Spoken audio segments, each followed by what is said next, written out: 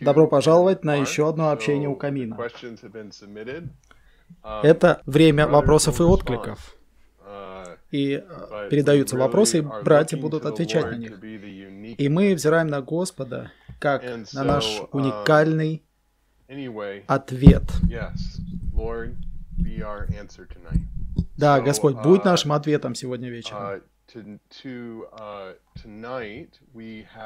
Сегодня с нами брат Кен Муни, который присоединился к нам из Мюнхена, и также Марк Рута, который тоже присоединился к нам из Мюнхена, и брат Питер Уэлл, который вновь присоединился к нам с северо-запада, из Спокана. Это штат Вашингтон, США. Обычно его можно было найти на Украине, в Украине. Еми и я, мы будем помогать задавать вопросы сегодня вечером. Еми, я передаю слово тебе. Спасибо. Хорошо. Спасибо, Натаниэл. Мы переходим к первому вопросу. И этот первый вопрос адресуется брату Питеру. И вопрос звучит так. У меня есть э, по-настоящему близкая подруга, которая учится в старшей школе, и я говорю с ней о Боге. И однажды мы говорили о его возвращении, о том, что конец близко. Я думаю, что это пугает ее. Что мне делать? Как мне сказать ей, что это не страшно? Что это хорошо? Вопрос адресуется брату Питеру.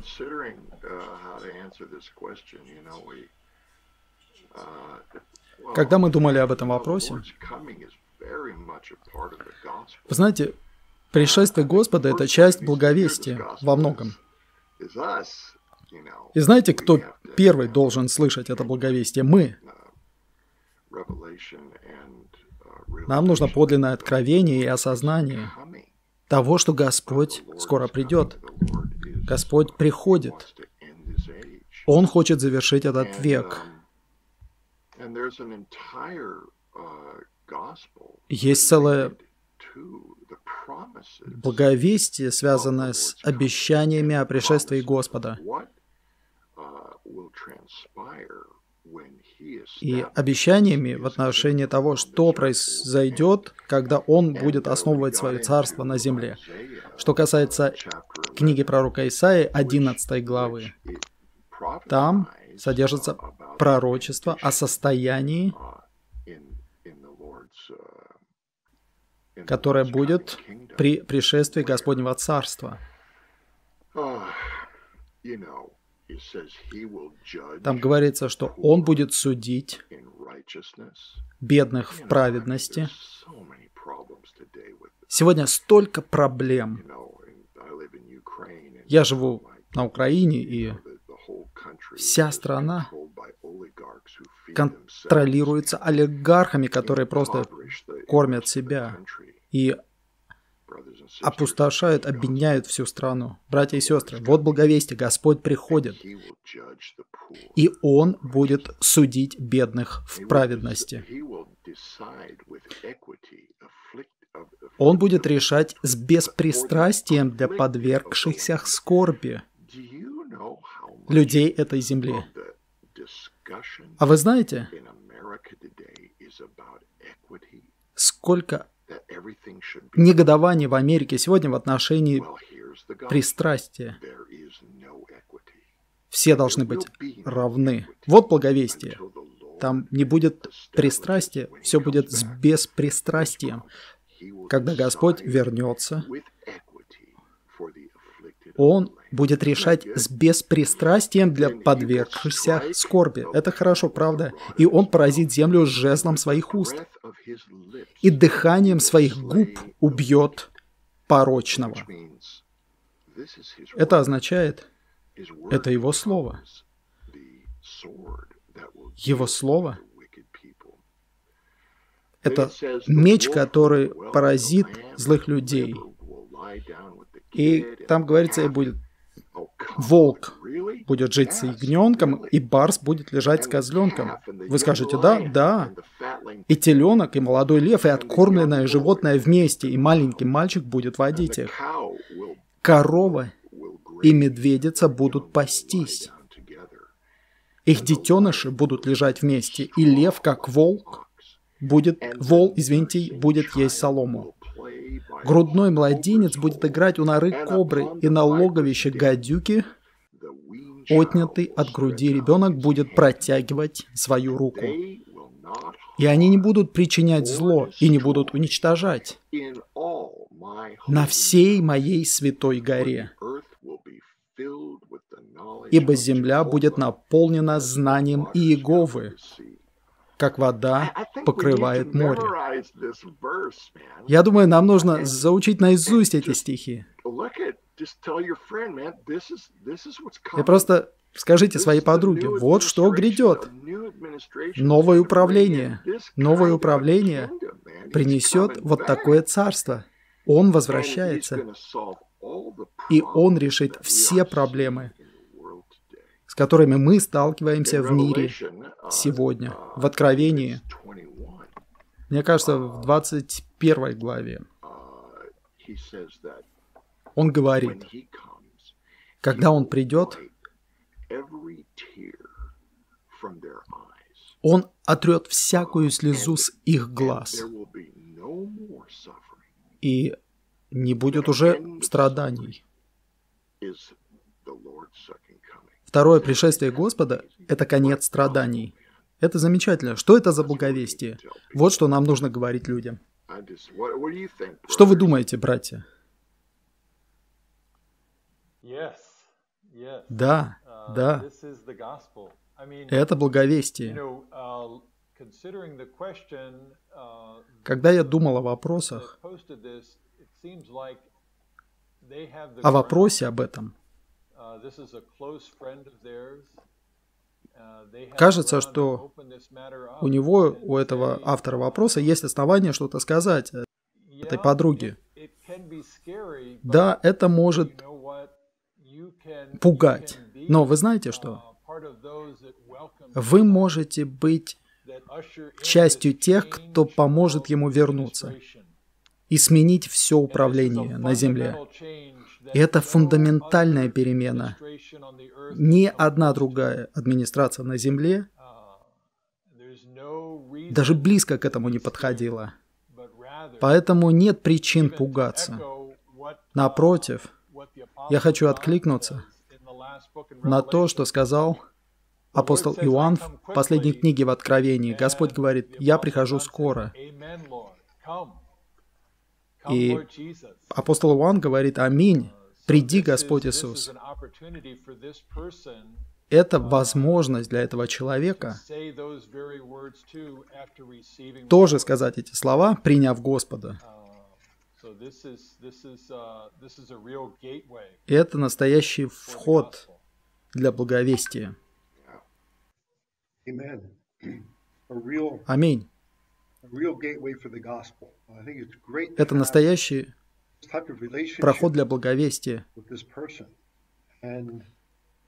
Вот э, что касается отношений с этим человеком. На студенческой конференции, которая будет скоро, и тема такая будет. Грядущее царство Сына Его любви. Нам нужно помочь этому человеку понять, осознать, что природа Господа — это любовь. Его царство — это царство любви. В Евангелии Иоанна 3,16 говорится, «Бог так возлюбил мир, что отдал своего единородного Сына». Нам нужно помочь этому человеку понять, что Господь приходит. Для тех, кто любит Его и кого Он любит. Нам нужно помочь ему осознать, или ей, или это она, на самом деле, ей осознать, насколько Господь любящий, в книге Оси 11.4. Там говорится, «Я влек их узами человека, связями любви». И я был для них как те, кто поднимает ермо на их челюстях. Господь влечет нас любовью. Не для того, чтобы испугать нас. Его намерение, изначальное намерение в отношении народа Израиля заключалось в том, чтобы они пировали им. И он отмечает, что он хотел, чтобы они стали его женой. Нам нужно помочь этой девушке осознать, что Господь при, приходит. И на самом деле это должно быть чем-то приятным. Это как вот двое возлюбленных встречаются вместе. Вот чем должно быть пришествие Господа. Он ждет своей невесты. Поэтому это встреча двух влюбленных. Аминь. Вы знаете, братья, я хотел бы упомянуть вот эти стихи в Откровении в отношении пришествия Господа. Здесь говорится, это связано с искупленными святыми, с их наслаждением Божьей заботы, заботой и пасторством Агнца. И это те, кто служит днем и ночью в его храме. И тот, кто сидит на престоле, будет стоять шатром над ними. Этим людям нужно знать, что им нужен дом. И Бог хочет быть их домом. Он хочет стоять как скиния над ними, как шатер над ними. И они больше не будут голодать. И они не будут жаждать. И не будет поражать их зной и солнцем. Ибо Агнец, который посреди престола, будет пасти их и вести их к родникам вод жизни. Бог отрет всякую слезу с их глаз. Это также связано с обещанием Господнего пришествия. И это обещание для верующих, но это также обещание для народов, для племен. Вот этот стих. Смотрите, скиния, вот скиния Бога с человеком. Это откровение. Давайте посмотрим.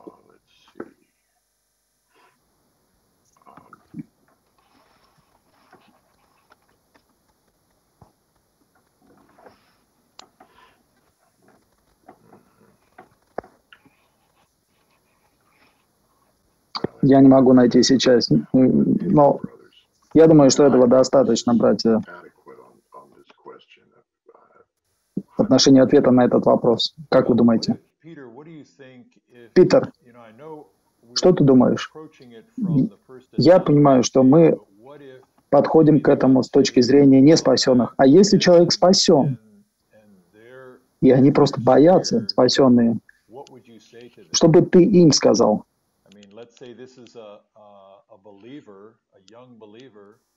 Допустим, это верующий, молодой верующий. Может быть, он принял Господа несколько лет назад, и он охладел по отношению к Господу. И поэтому он боится, думая о его скором пришествии.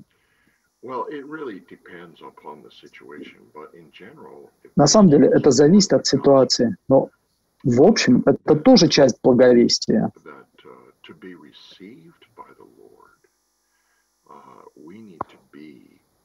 Чтобы Господь принял нас, нам нужно быть в Христе, в ковчеге. Вне Христа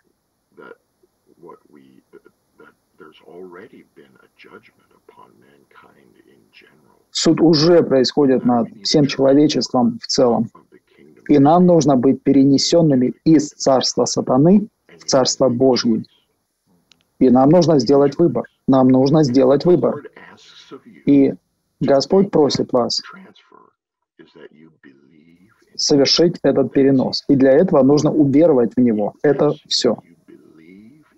Он просит, чтобы уверовали в Господа Иисуса Христа и приняли Его.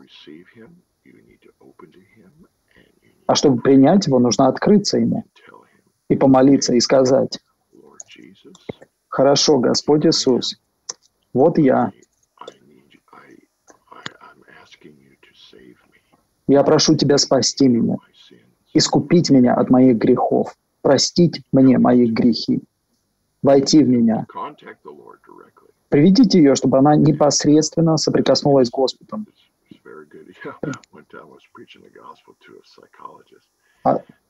Однажды я благовествовал психологу, и братья спорили с ней, а она не хотела верить.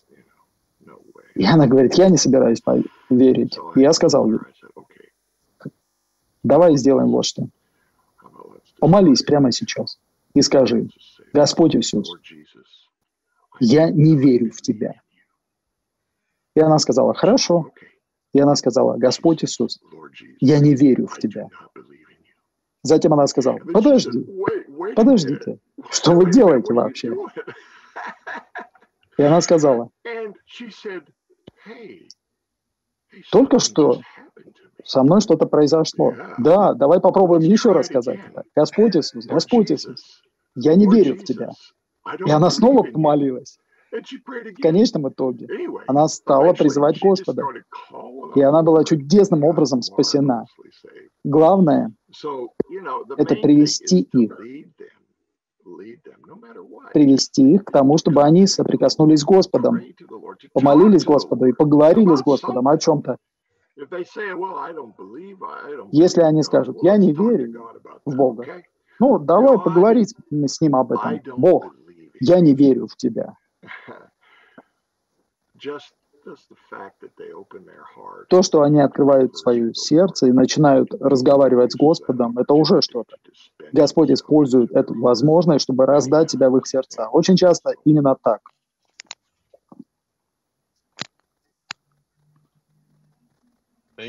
Спасибо, братья. Um, я рад, что я не единственный, кто боится пришествия Господа. Спасибо uh, за ваш отклик. Uh, Я uh, адресую следующий вопрос um, тебе, Марк. Вопрос гласит, Насколько я должен открываться старшим братьям в отношении личных вопросов? Я боюсь, что они станут смотреть на меня по-другому. Я, очевидно, боюсь, что они будут смотреть на меня по-другому после того, как я откроюсь. Вот в чем смысл. Ну, я думаю, что не всегда. Я бы сказал, да, конечно, это здоровая практика, которая подразумевает, что вы открываетесь правильному человеку, так сказать. И возраст здесь не единственный критерий. Вы открываетесь не просто потому, что кто-то старше вас. Возраста недостаточно. Uh, Мы знаем, что Павел говорит о том, что есть много учителей. У вас много учителей, uh, но немного матерей и отцов. Uh, Одним из отцов он был. И нам нужно открываться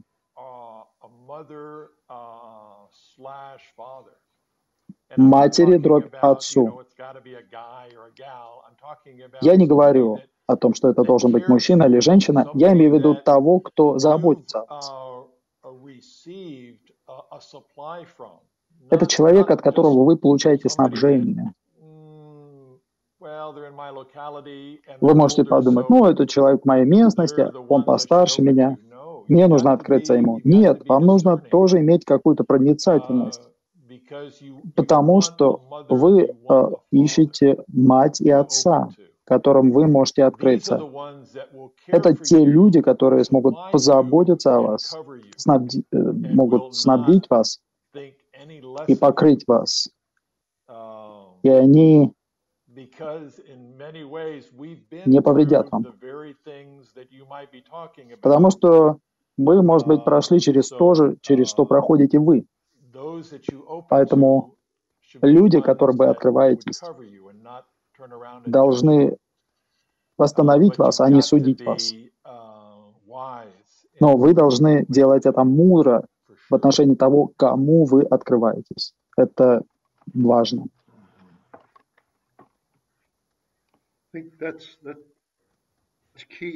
Это ключ.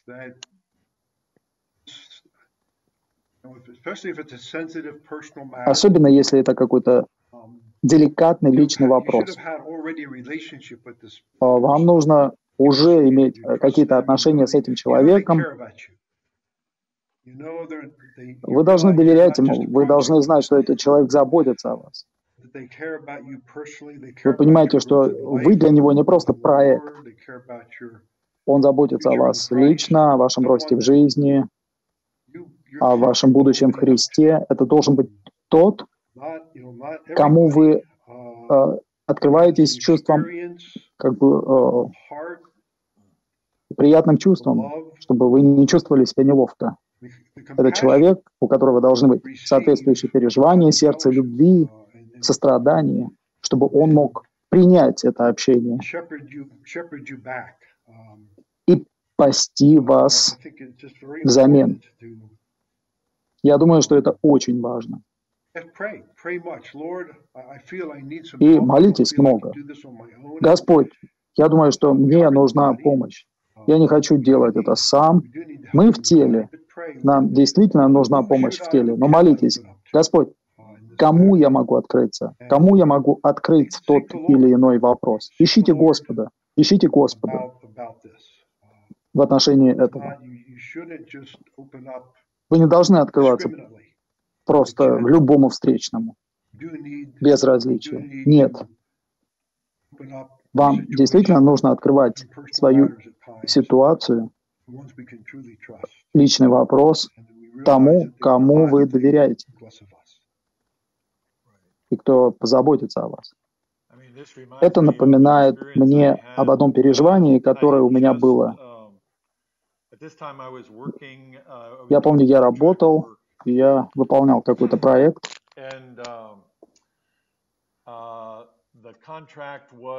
и проект, контракт как-то очень резко завершился. И меня это просто придавило. Я потерял работу. Я открылся кому-то в отношении этого вопроса, другому брату.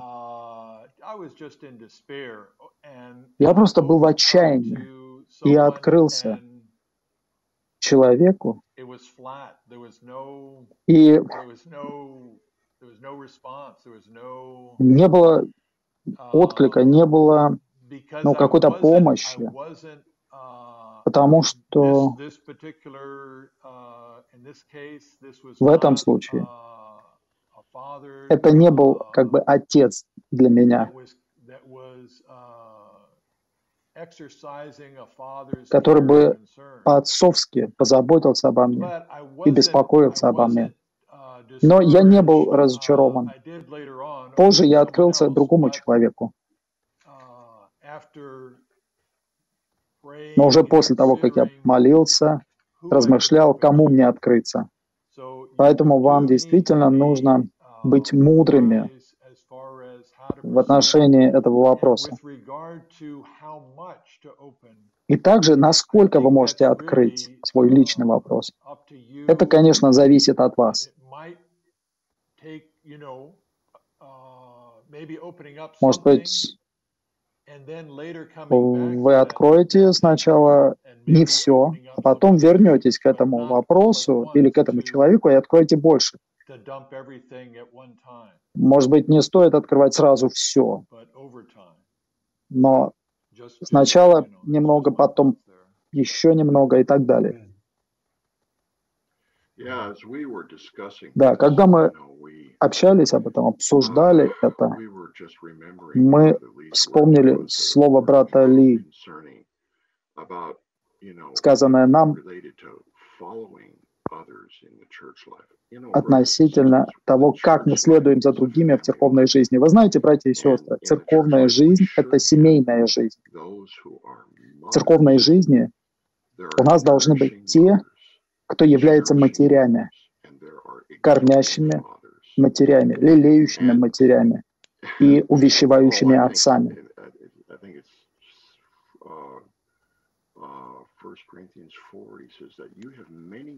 Кажется, в первом послании к Коринфянам, 4 главе, говорится, у вас много учителей в Христе, но немного отцов.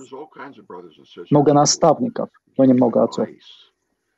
Много братьев и сестер могут давать вам какие-то советы, но нам на самом деле нужны матери и отцы в церкви. И Павел был таким образцом. Он был и матерью, питающей матерью, и он был увещевающим отцом. Он был человеком, который любил Господа. Он жил для Господа. Он отказался от своего «я», от своих природных предпочтений. Интересно, в жизни изучений книги фессалоникийцам, послание фессалоникийцам, он говорит об этом. Он говорит,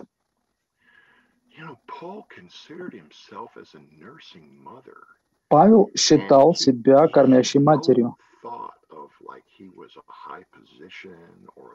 У него не было даже мысли о том, что у него было высокое положение, власть или что-то подобное. Он считал себя просто кормящей матерью. И это совершенно отличается от человека с положением, каким-то лидером и так далее. Братья, нам нужны такие люди в церковной жизни.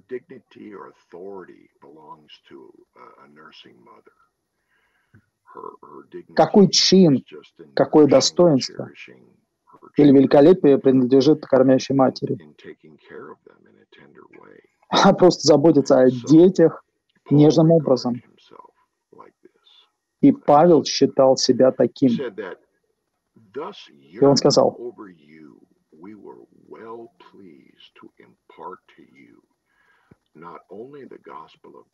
жаждая вас, мы хотели передать вам не только благовестие Божье, но даже свои собственные души. В церкви я знаю, я знаю людей, которые жаждут меня, которые глубоко озабочены мной.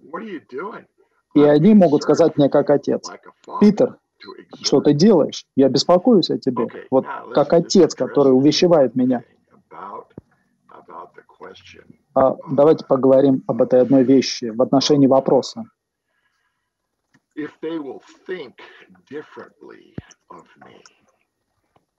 Если они будут думать по-другому обо мне, вот брат задает вопрос. Я помню, я рассказал братьям историю, мне было 16 лет, и я только что получил свои права, и я возвращался домой из школы. И у меня дома была большая машина, там 14 человек могли поместиться там.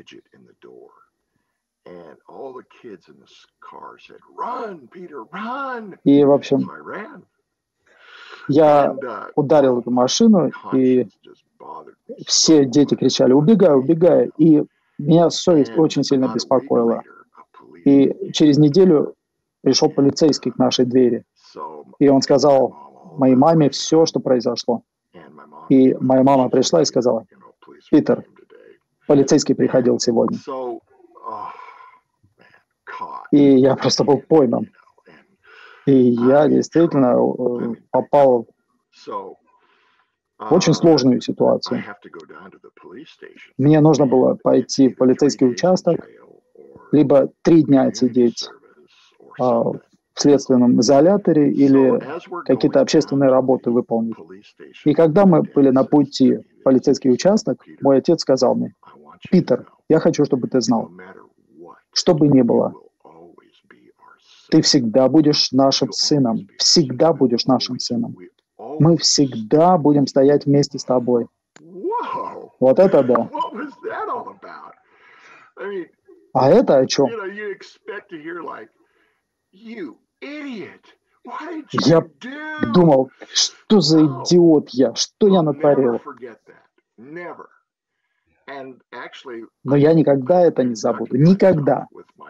И на самом деле я вел себя со своими детьми точно так же. И отец сделал это в 15 главе Евангелия от Луки.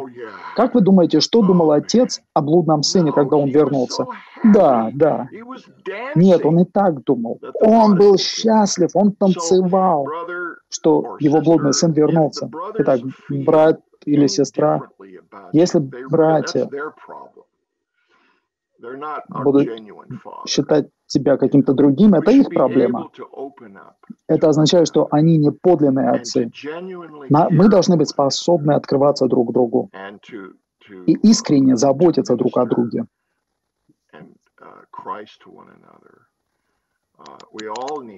И преподносить Христа друг другу. Должна быть такая открытость в церковной жизни, как брат сказал. Мы не должны открываться любому встречному. Мы должны открываться надлежащему человеку, который любит Господа, ищет Господа и заботится о вас. И вы знаете, заботятся они о вас или нет. Вы знаете это.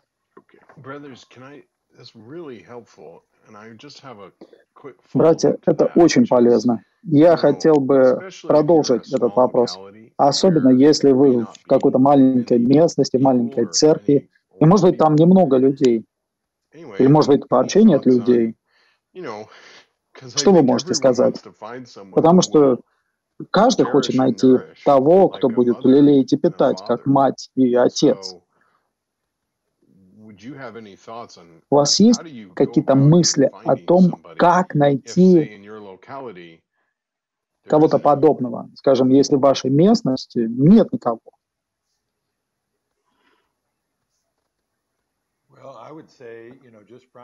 Ну, я бы сказал, с практической точки зрения, и я говорю о времени после пандемии, я бы сказал, смешивайтесь, смешивайтесь с церквями вокруг вас. Потому что ключ состоит в том, чтобы у вас были какие-то отношения с этим человеком. Для того, чтобы это произошло, нужно встречаться с этими людьми, узнавать их, даже если они не в том же месте, где вы.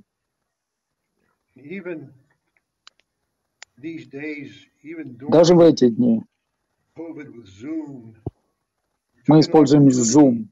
Это тоже возможность с кем-то встретиться, пообщаться в Zoom. Есть много разных групп, есть много разного пасторства после конференции. Мы часто смешиваемся по-разному. У вас таким образом появляется возможность.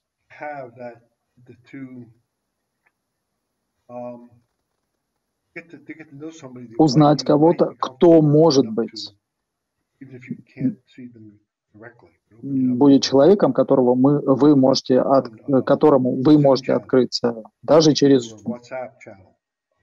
или через WhatsApp.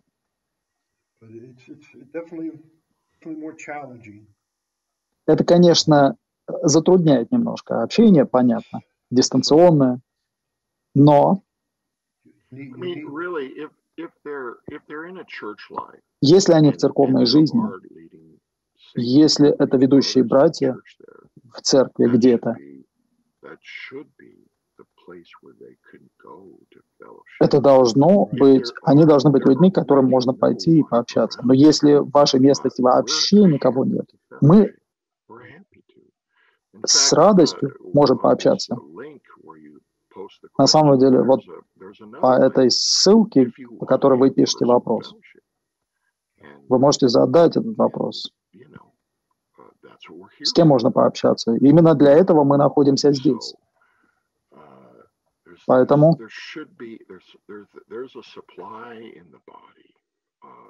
В теле есть снабжение. Мы не должны бояться э, найти кого-то или открыться кому-то. Аминь. Спасибо, братья.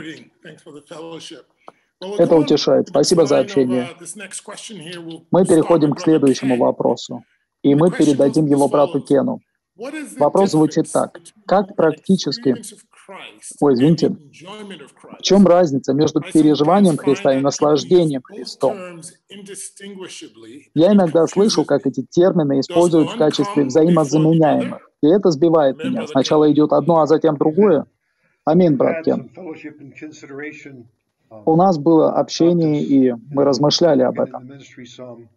Мы читали что-то в служении. Да. Действительно, сначала идет одно, потом другое. Но я начну с первой главы Евангелия от Луки. 46-47 – это стихи. Мария говорит. «Моя душа возвеличивает Господа», Мария сказала, «и мой дух возликовал о Боге моем Спасителе». Посмотрите на время здесь, глагол. Сначала дух Марии коснулся Господа, затем ее душа откликнулась. Она возвеличивала, то есть наслаждалась. Видите?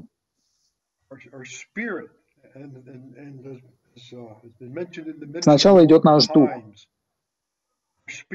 И в служении во многих местах говорится, что мы соприкасаемся с Господом нашим Духом, и когда мы наслаждаемся, мы наслаждаемся в своей душе. Наш Дух — это не орган наслаждения. Наш Дух — это орган, при помощи которого мы соприкасаемся с Господом и всем Его богатством. А именно в душе мы наслаждаемся этим богатством that we're looking at enjoyment as a goal. Возможно, мы рассматриваем наслаждение как цель. Но на самом деле цель — это переживание Христа. А на основании переживания Христа у нас должно быть наслаждение в душе. Если мы ищем Господа только для наслаждения, это может быть чем-то опасным. Мы не хотим получить просто какое-то чувство. Очень часто вы думаете,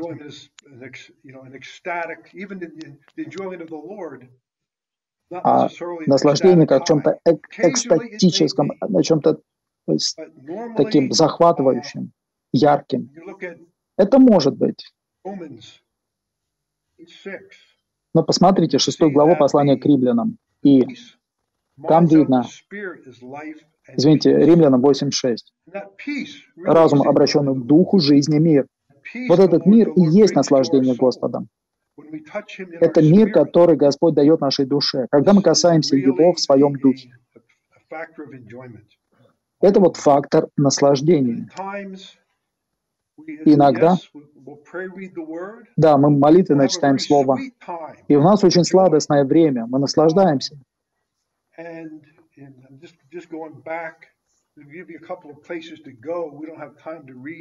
У нас нет времени читать все эти стихи, но если вы прочитаете книгу «Переживания Христа», в этой книге, в третьей главе, во втором и третьем разделе. Говорится, там заголовок такой, разница между переживанием Христа и наслаждением Христом. И там отмечается, что переживание в нашем духе часто, там приводится пример, ребенок может есть какие-то овощи, он их переживает, но ему они не нравятся. То есть он не наслаждается. У нас может быть такая же ситуация с Господом. Когда мы только пришли в церковную жизнь, для нас это было чем-то сладостным, радостным. Может быть, вы попали в церковь и стали смешиваться со святыми, и это что-то полное радости. И затем у вас, может быть, спустя какое-то время появляются проблемы со святыми, и наша душа ощущает какие-то неприятности. И мы не можем наслаждаться Господом, когда в душе есть эти проблемы. Да, дух может переживать Господа. И мы начинаем терять наслаждение Господом таким образом. И в этот момент нам нужно взирать на Господа. Господь, вот такие вещи беспокоят меня.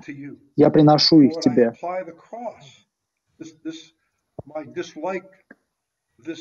И когда я применяю крест, мне это может не нравиться.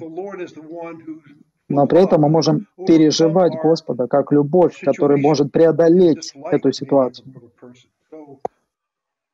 Может быть, то, что мы не любим какого-то человека. Очень часто проблема возникает в нашей душе, и тогда мы не можем наслаждаться Господом. Например, наша душа не права по отношению к Господу и к телу. И это также может стать проблемой в нашем духе. Может быть, в нашей совести есть какая-то обида, и мы не можем коснуться Господа из-за препятствия в нашей совести. И в первом послании Иоанна, первой главе, седьмом и девятом стихах показан цикл жизни, и результатом этого является радость. Поэтому, когда у нас есть общение жизни, появляется свет, и очищение это приводит нас в радость Господа, наслаждение Господом. Послание к филиппийцам. Я просто читаю подпункты. Это книга, посвященная переживаниям Христа и также наслаждению Христом. Послание к филиппийцам много говорится о переживании Христа. И слово «радость» используется много раз, там, более 10 раз, а радость где-то 6 раз. То есть это связано с наслаждением. Если мы правы по отношению к Господу, по отношению к святым, у нас есть радость в нашем христианском переживании. Но опять-таки, наша цель состоит не в том, чтобы искать просто наслаждение, радости. Наша цель состоит в том, чтобы искать Христа и переживать Христа. Павел снова и снова говорил о том, что он стремился узнать Христа, узнать силу Его воскресения, узнать общение Его страданий. Часто мы узнаем Господа путем страданий, в том числе в теле, ради его тела. Наше надлежащее христианское переживание, конечно, имеет радость, но радость не должна быть нашей целью. Иногда моя христианская жизнь такая. Конечно, у меня есть радость в Господе, в церковной жизни. А затем по какой-то причине Вдруг это уходит. И часто Господь в этот момент хочет, чтобы мы сделали шаг вперед. Может быть, мы комфортабельно чувствуем себя, когда мы наслаждаемся Господом. И, может быть, нам нравится петь какие-то гимны по утрам, но а Господь, может, хочет повести нас к переживанию того, чтобы мы наслаждались им, читая Его Слово или призывая Его имя. Может быть, мы призываем это уже не так сладостно. И Господь как бы говорит, ну, у меня есть еще переживания для тебя. Секрет песни песни. Там показаны многие стадии, многие этапы. В один момент она любила Господа, а потом она увидела, что он убежал и где-то скакал по горам. И она должна была поговорить с Господом честно. И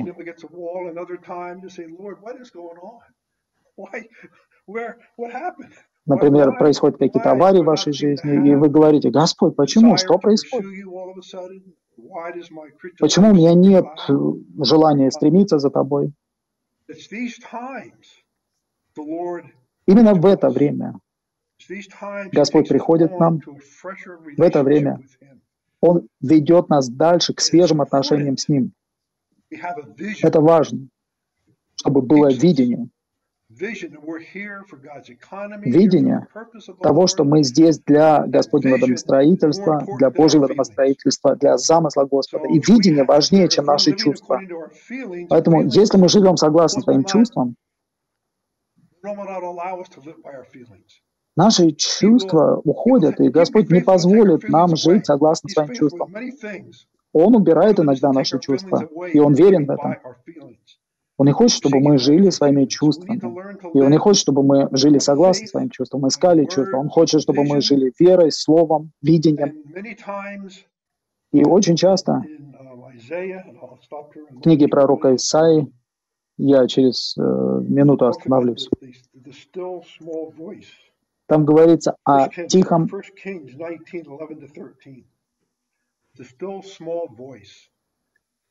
там говорится о тихом, мягком голосе.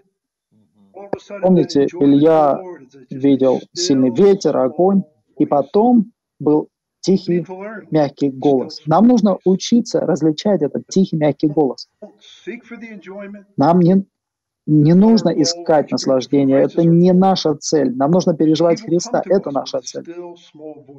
Но Он приходит к нам как этот тихий, мягкий голос. И Он таким образом дает нам много-много новых переживаний день за днем, когда мы позволяем Ему путешествовать вместе с нами.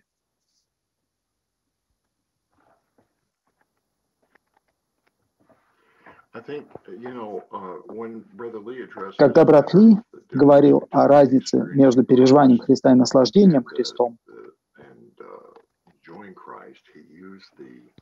он использовал пример с пищей.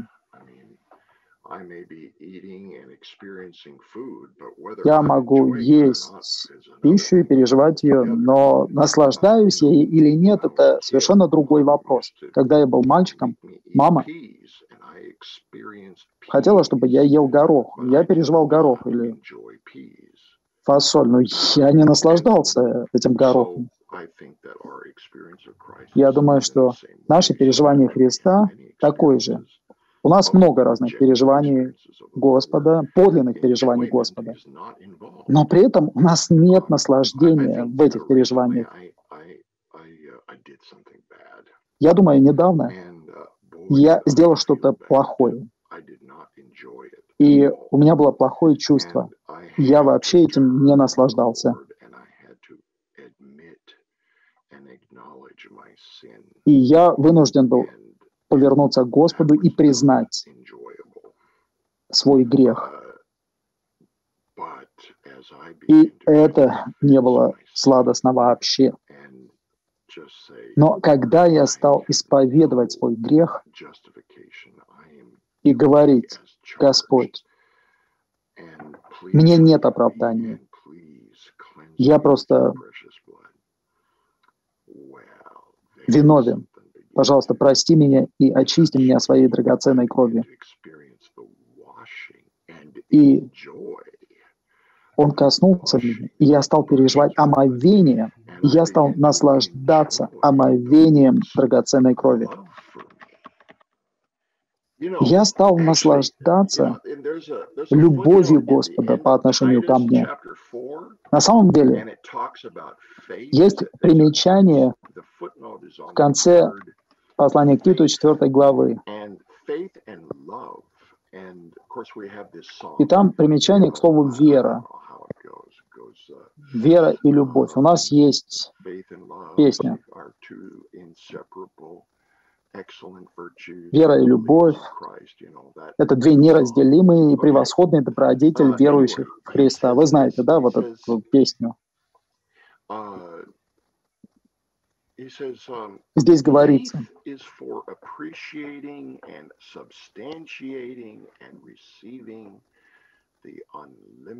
Веру нужно, чтобы осознавать, овеществлять и получать безграничное богатство триединого Бога. Послушайте, любовь, любовь нужна, чтобы переживать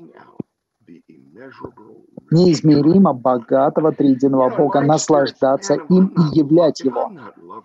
Мое переживание, если я не люблю Господа и не переживаю Его любовь, Я не очень наслаждаюсь им. В эти дни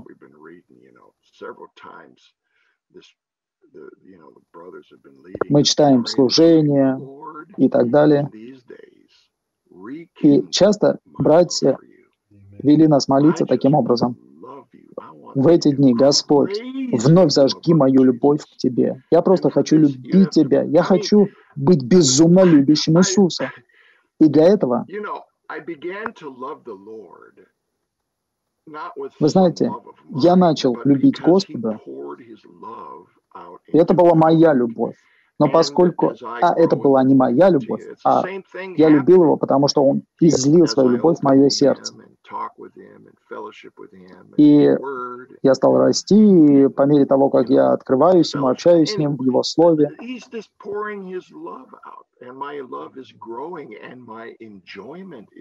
он просто изливает свою любовь, и моя любовь растет, и мое наслаждение растет. Да. Чтобы наслаждаться Господом. Очень и очень нужна любовь. Давайте сделаем так. Просто будьте простыми. И упражняйтесь и говорите, Господь Иисус, я люблю Тебя. Господь Иисус, я люблю Тебя.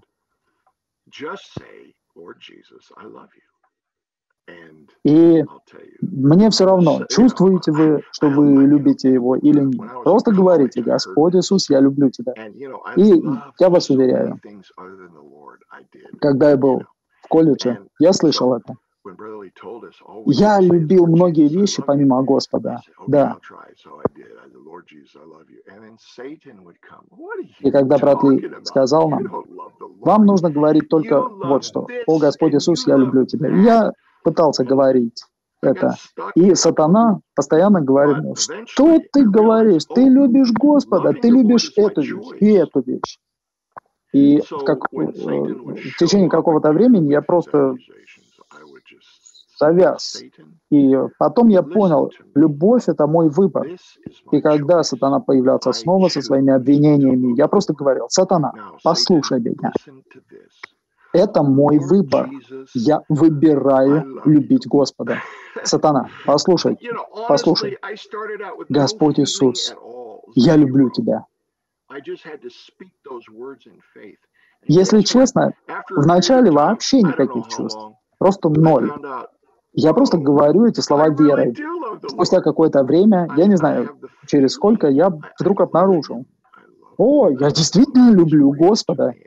У меня есть чувство, что я люблю Его. Я люблю Его. Он реален для меня. Он действителен. Да.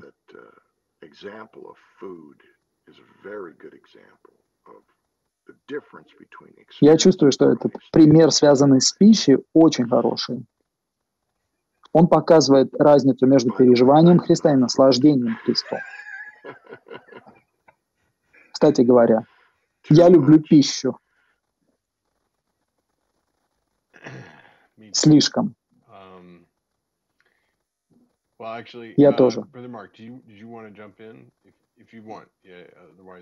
Брат Марк, ты хотел бы вставить что-то? Если хочешь. Нет.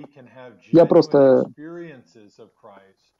повторить хотел. У нас могут быть подлинные переживания Христа, но при этом никакого наслаждения.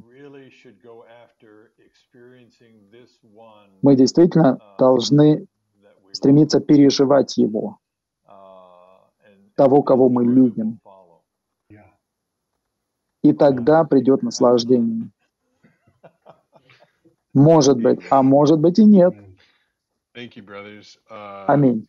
Спасибо, братья. На самом деле у нас есть несколько вопросов, которые связаны с этим. Uh, И я адресую следующий тебе, брат Питер. Вопрос такой, что мне делать, если я потерял наслаждение Богом?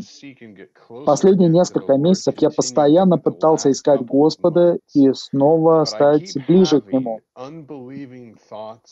Но у меня все еще есть мысли неверия и сомнения. Если Бог реален, почему Он не дает мне наслаждаться им? Дал я слишком много места врагу в моем разуме?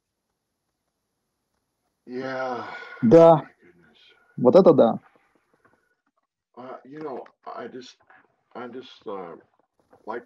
Я хотел бы прежде всего сказать вот что этому человеку. Ты не одинок. Многие приходили ко мне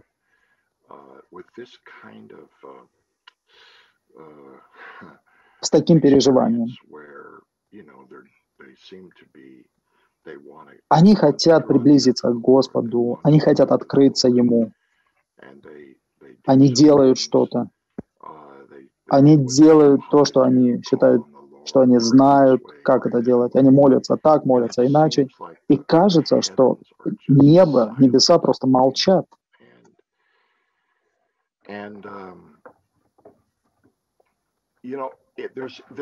Этот вопрос настолько многогранный, что может вызвать? вот эти помехи в соприкосновении с Господом. Это на самом деле непросто сказать, почему. Но, но я хочу сказать вот что. Вы знаете, брат или сестра, наша вера крайне важна. И вера основывается не на наших чувствах. Нам нужно держаться того, что говорится в Слове Божьем. И нам нужно выбирать веру, то есть верить в это. Во-первых, вам нужно сказать дьявол.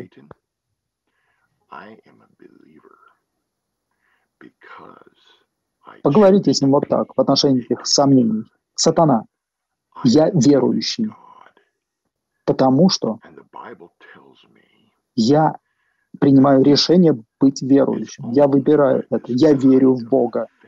И в Библии говорится, что только посредством такой веры Бог находит отраду во мне. И я верю в это, что я угоден Богу. И Он награждает тех, кто ищет Его. Хорошо.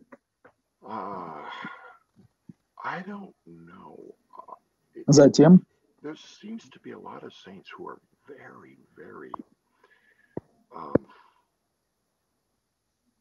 я не знаю. Есть много святых, кажется, которые... Ну, давайте небольшое переживание расскажу. Мои дети ходили в христианскую школу в Киеве. И там у них появилось много христианских друзей. У детей имеется в виду. И братья и сестры, они христиане, они верят в Господа, но они не знают ничего о субъективных переживаниях Христа. Поэтому, когда мои дети говорят, я просто люблю Господа. Они говорят, о чем вы говорите? Что ты имеешь в виду, я люблю Господа? О чем ты говоришь? Как ты любишь Господа? И недавно они начали домашнее собрание с этими друзьями. И на первом собрании и они говорят, о чем вы хотите поговорить? Они говорят, о деньгах. И они стали говорить о деньгах. И им было интересно вот что. Что им делать, как христианам, с деньгами со своими? Давайте им 10%, 100%. Они не знали. Они искали того, что им кто-то скажет, что им делать. Их целью была не личность, они не касались личности. И очень часто, когда я чувствую, когда мы говорили, когда мы говорим о святых, или когда святые говорят, что «О, я упражняю свой дух, но это неэффективно, это не действует», может быть, я перепрыгиваю уже к другому вопросу. Что означает эта фраза «упражнение духа»? К сожалению, я чувствую, что это как клише среди нас, такая избитая фраза. упражнение духа, упражнять дух. Но факт заключается в том, что у нас есть дух. Я верю в то, что у меня есть дух. Он является моей частью, частью меня. И у меня есть воля. Я в любой момент могу использовать свой дух, если захочу. Есть еще один момент в отношении истины. Господь Иисус с моим духом – это факт. Я верю в Него. Он в моем духе. Если я хочу соприкасаться с Господом, я могу просто прийти к своему духу. Я могу начать молиться, я могу начать говорить с Ним. Но я чувствую, что когда мы говорим, используем этот термин «упражнять дух», мы сосредоточены на чем-то техническом. Вы знаете, это вот как тарелка, нож и вилка. Это вот как инструменты. Но средоточие — это не инструменты или не столовый набор. Средоточие — это пища. Вам нужно есть пищу. Средоточие не на упражнении духа, а на самом Господе. Господь реален, Он живой, Он воскрес из мертвых на третий день. Он живой, Он живет во мне. Поэтому я чувствую это или нет, я просто говорю с Ним. Господь, вот я. У меня нет никаких чувств, но я верю в Тебя. И я верю в то, что Ты действителен, Ты реален. Во-вторых, я верю Твоему Слову. Я верю в Твою смерть, что через Твою смерть Ты совершил искупление за меня. Я верю прямо сейчас, что Твоя кровь действует. И я стою оправданным перед Богом. Я верю в это. Чувствую я это или нет, я верю в это. И я верю, что ты воскрес из мертвых, и ты вложил себя в меня. И я верю, что я один дух с тобой. Я просто говорю с Господом вот так. Я просто разговариваю с Ним. Мы просто разговариваем. Не будьте такими сложными. И цель — это Он. Дело не в том, чтобы что-то делать. Призывание Господа. Цель призывания Господа — это Он. Цель молитвочтения Слова — это Он. Все эти вещи без Него пустые. И без соприкосновения с Ним они um, пустые. Да. Я не отвечаю очень хорошо на этот вопрос, но, честно говоря, я понимаю, что я, может быть, не совсем точно отвечаю на вопрос. Но, братья, мы все переживали это в течение многих лет. Послушайте, я потерял присутствие Господа спустя три месяца после моего динамичного спасения. У меня была радость и мир, и наслаждение. Спустя три месяца все это ушло. У меня не было никакого знания истины, я не знал о своем духе, uh, я не читал слова. Я стал спрашивать всех, а как вернуть все это? Как вернуться к Господу? Я получил разные ответы. Они говорили мне, тебе нужно молиться на языках. Я говорю, хорошо, ла-ла-ла и так далее. Тебе нужно молиться и поститься. Я делал все это, ничто не,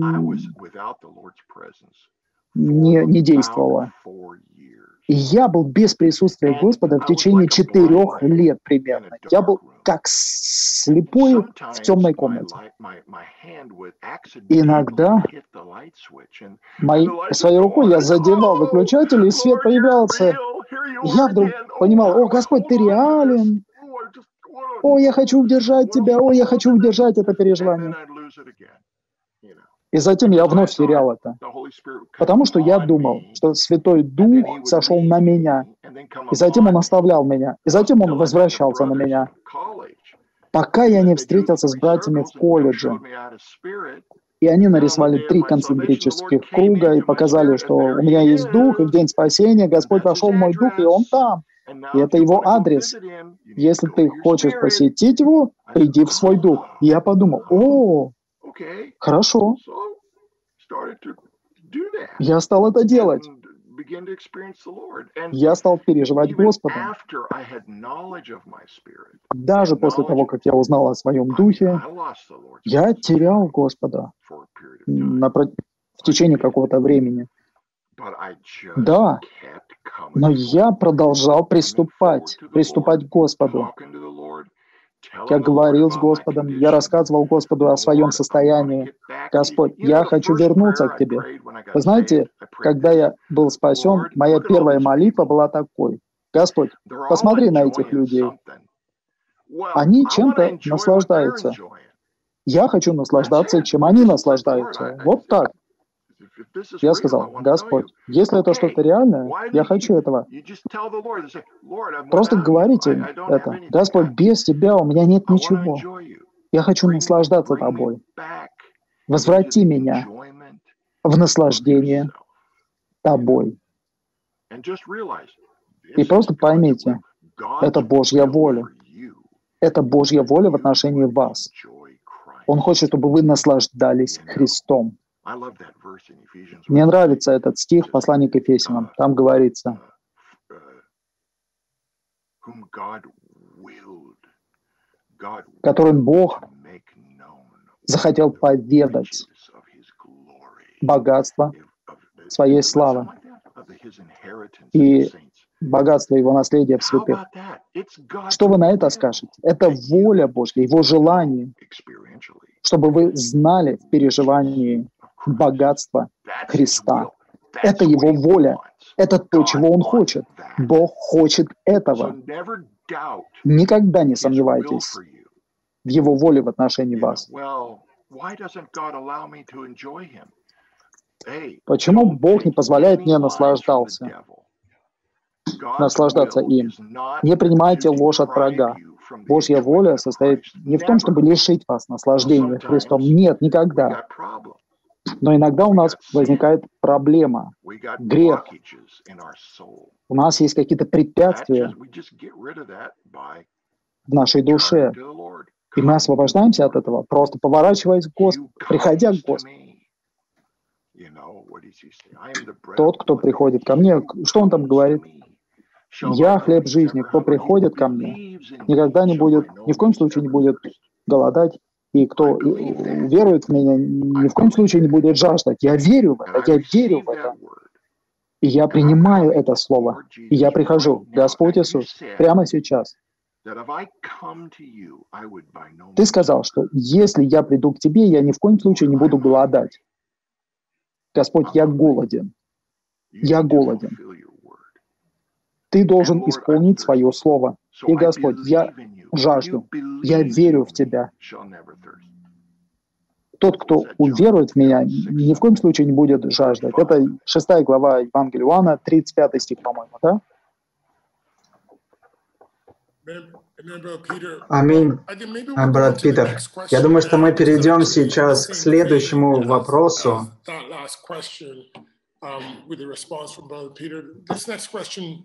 Вот этот следующий вопрос, а может быть, мы дадим его брату Марку. А здесь говорится,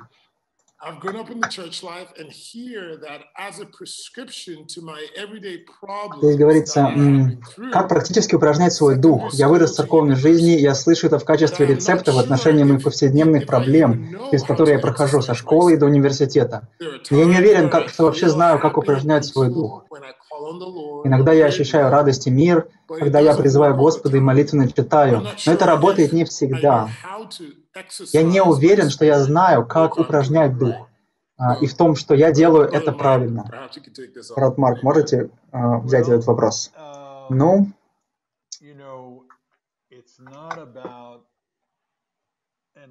знаете, дело не в, а, не в том, как, как Петр, Питер сказал, что дело не в методе, а дело в личности.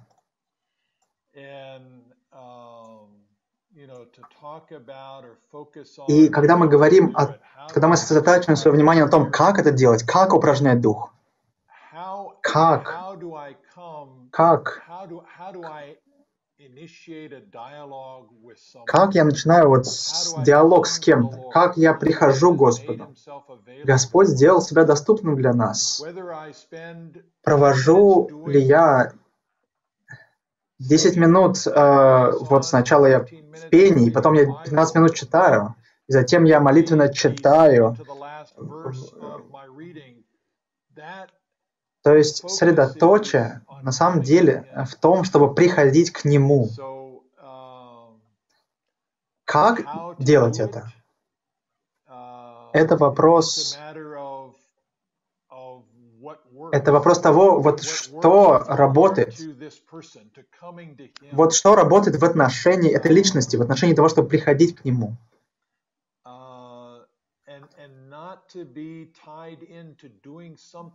И нам не нужно быть э, сосредоточенным на том, чтобы делать что-то, просто вот выполняя какой-то долг, вот рутинным образом, потому что Господь, Он живая личность, и Он привлекает нас к себе.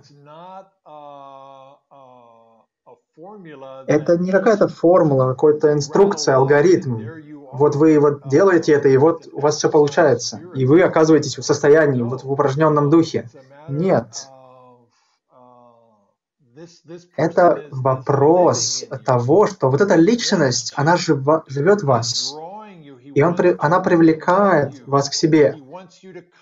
Он хочет, чтобы вы узнали Его. Он хочет, чтобы вы пришли к Нему. Возможно, вы делаете одну вещь вот сегодня,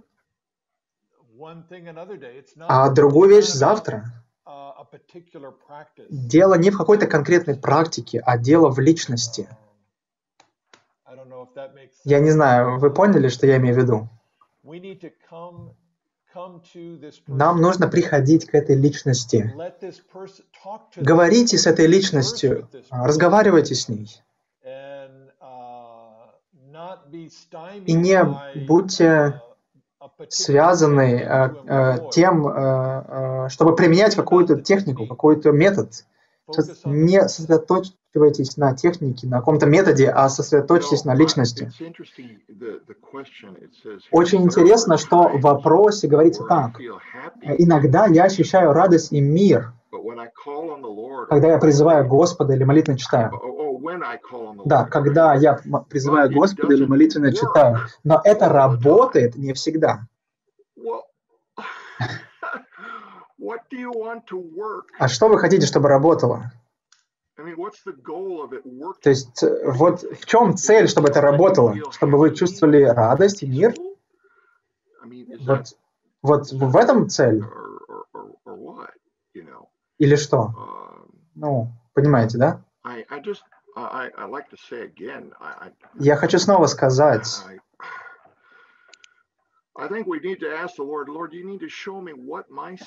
мне кажется, нам нужно сказать Господу, Господь, дай мне откровение, где находится мой дух, что такое мой дух, и покажи мне, дай мне зрение моим внутренним глазам, чтобы я увидел, что Ты, Ты в моем духе, и Твой дух, и мой дух соединены в одно. Это факт. Это не зависит от того, чувств, ощущаете ли вы радость и мир или нет. Нет, это факт. Ваш дух и дух Господа соединены в одно. Вы знаете, я, я в Господнем восстановлении более 40 лет, и я до сих пор обнаруживаю, я даже не знаю, насколько я осознаю, каков мой дух. И вот, вот, вот эта тайна, что Бог слил себя со мной в моем духе, это просто взрывает мой разум.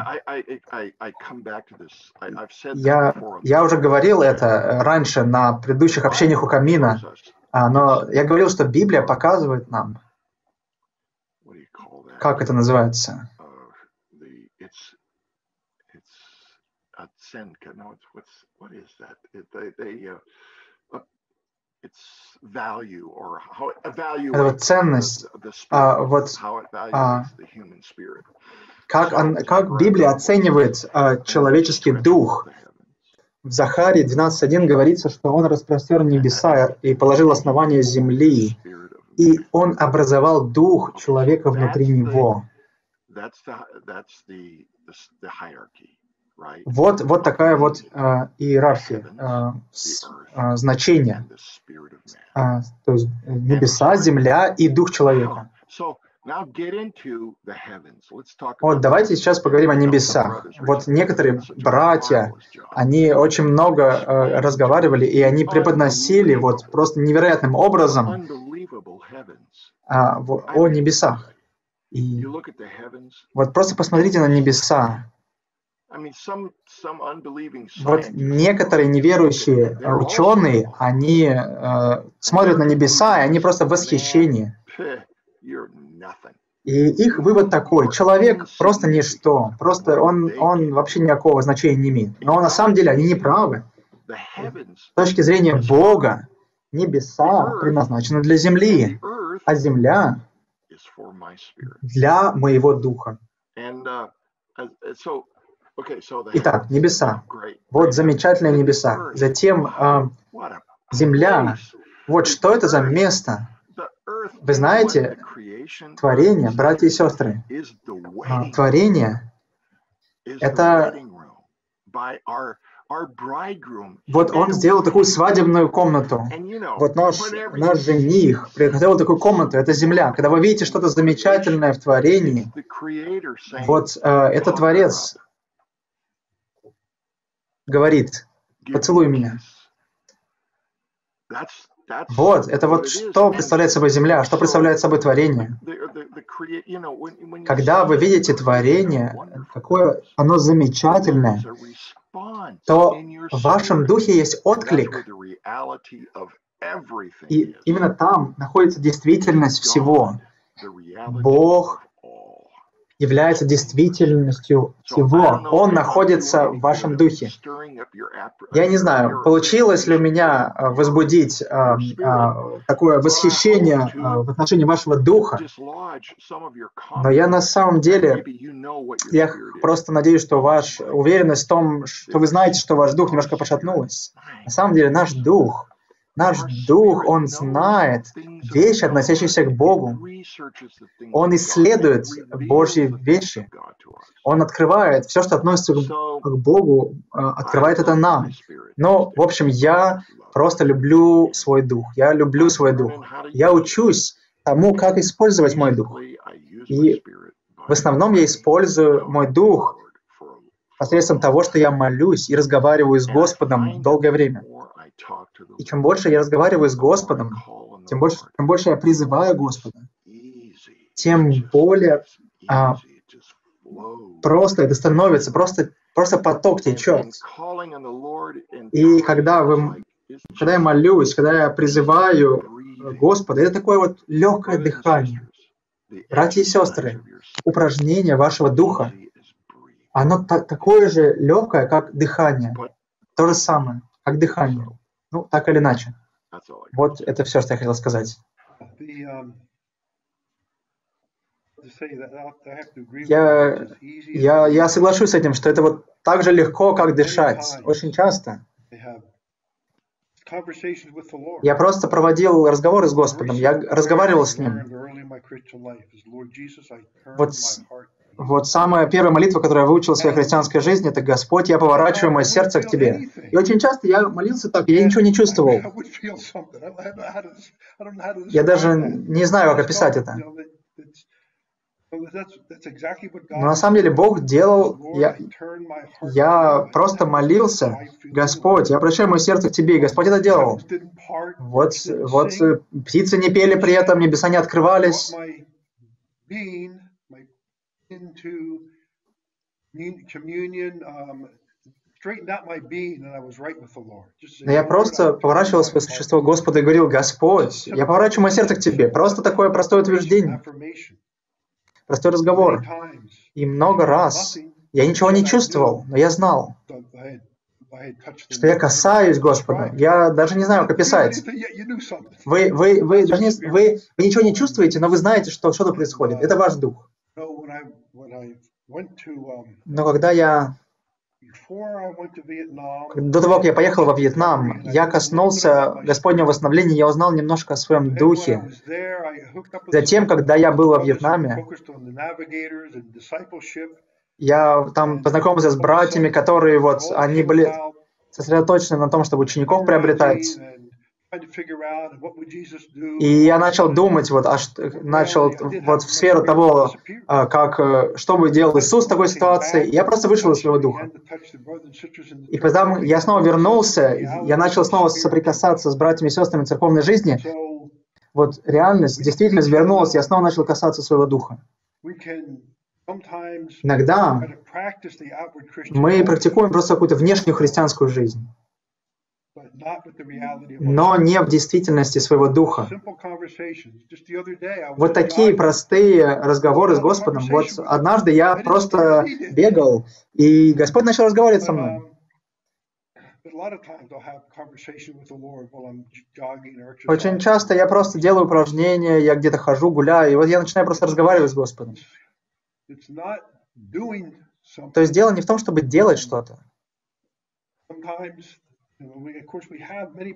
Конечно, у нас есть в церковной жизни есть много жизненных практик.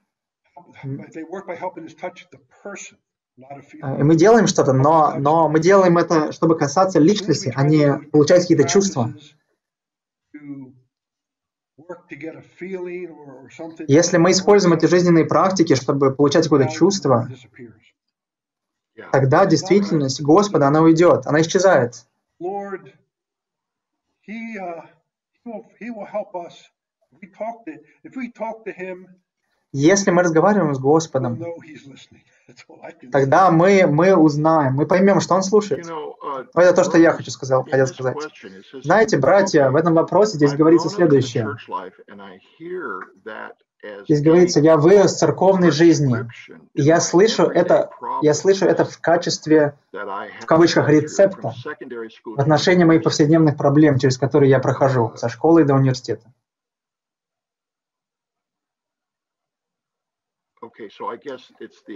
Да, я так понял, здесь говорится э, об упражнении нашего духа. То есть вот упражнение духа – это вот, в кавычках, рецепт в отношении всех повседневных проблем. Братья, что нам сказать на это? Вот это то, это то, чем является э, э, наш дух, это рецепт по решению проблем. Нет, ду, наш дух это не про это вообще.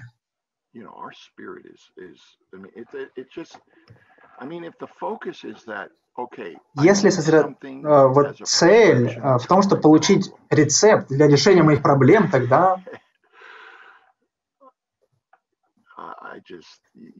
тогда вы, вот вы находитесь в неправильной сфере.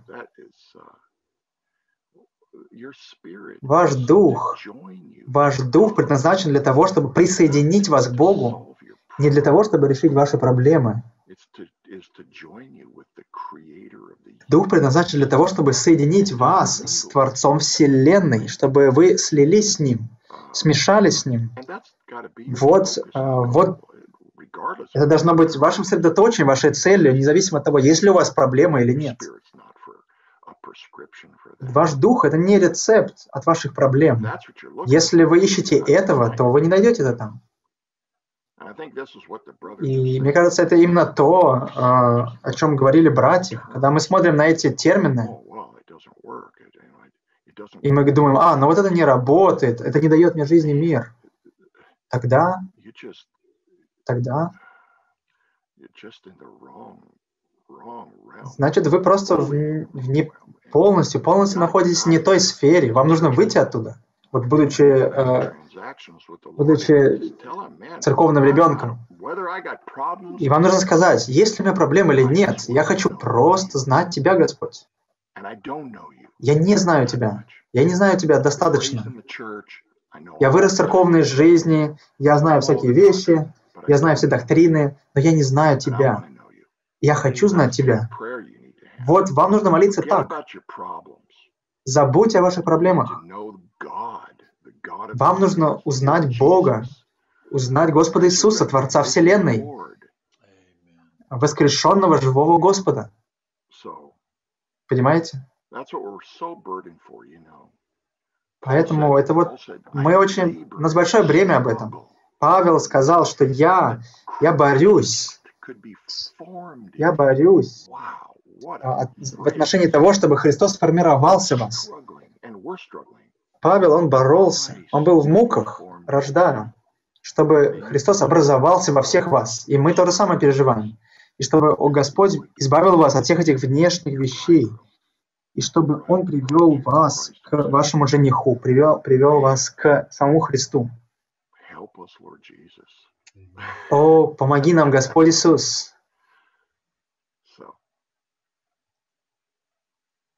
Uh, uh, две вещи, uh, очень быстро. Вот то, что Пит, э, Петр, Питер вот упомянул, мы поместим это в чат. Вот вопросы и ссылки. И вот еще один вопрос в отношении, связанный с этим. Мне очень пом помог э, ваш отклик, потому что то есть вы перевели нас вот в сторону, отвернули нас от, от всех вещей к личности.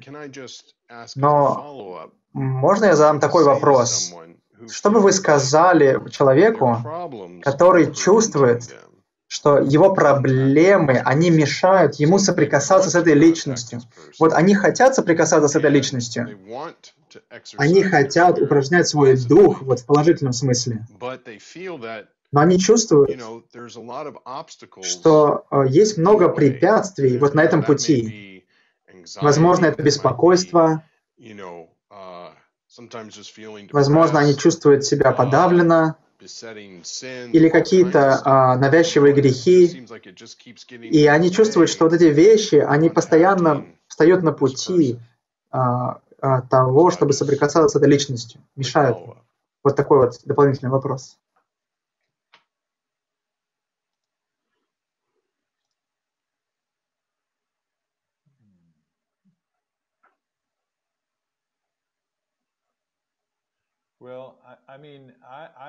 Но я бы, я бы сказал так. Uh, Мне кажется, что они должны понять, осознать вот эти вещи, которые мешают им, и записать их. И затем одна за другой открыть эти проблемы, эти вещи Господу. Uh,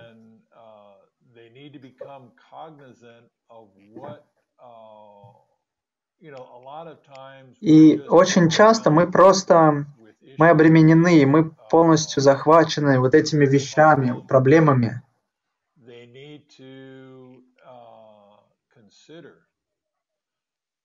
И поэтому вот нужно поразмыслить, что это. И будьте конкретны. Будьте конкретны с Господом. Говорите с Ним не общим образом.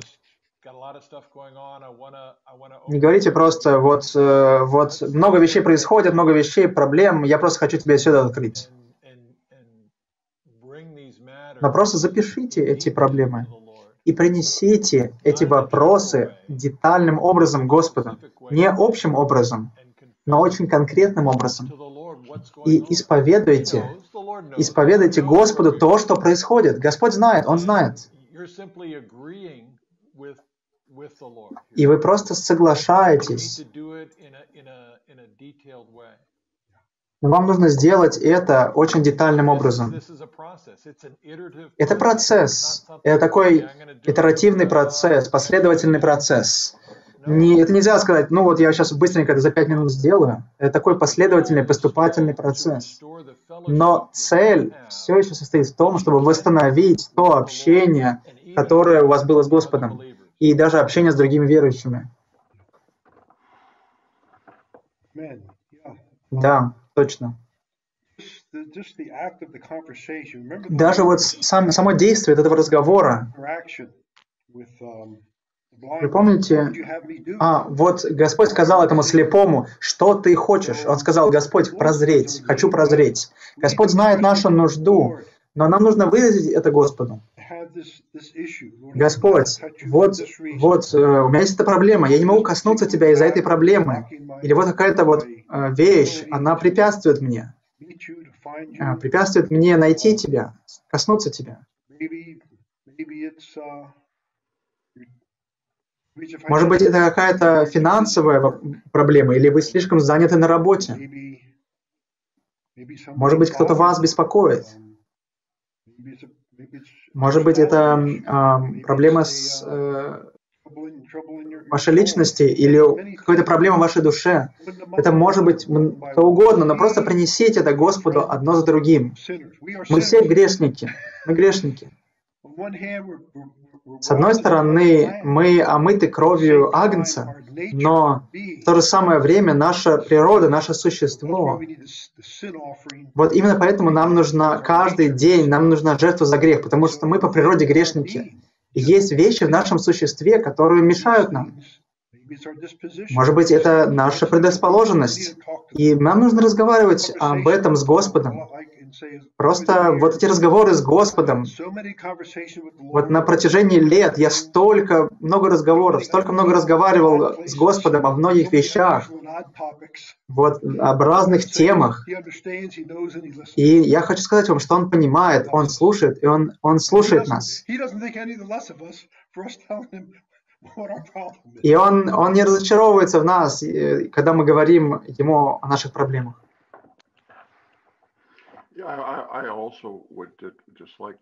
Я, тоже хочу uh, сказать, что вот, Натан, а, ты сказал, что вот у меня есть проблемы, проблемы, я не могу соприкоснуться с Господом, потому что у меня есть проблемы, проблемы и проблемы. Ну, хорошо.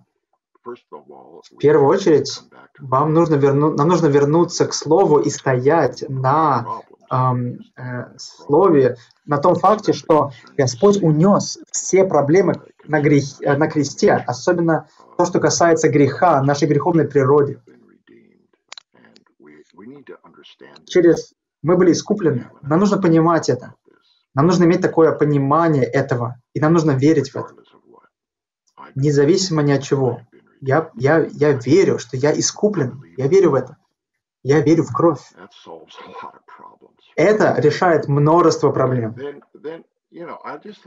А затем, затем я хочу, а, я хочу вас э, показать э, вот одну брошюру. Эта брошюра очень помогла мне в моей жизни. Я очень мне нравится рассказывать новым верующим об этой брошюре вот, э, которым, тем верующим, э, новым верующим, которым я благовествую. Это называется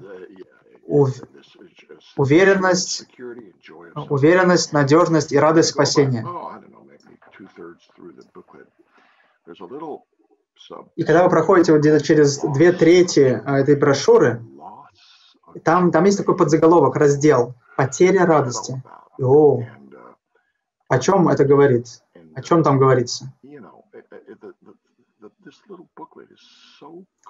Вот эта маленькая брошюра, она так ясно раскрывает, что спасение, наше спасение, это как, это как скала.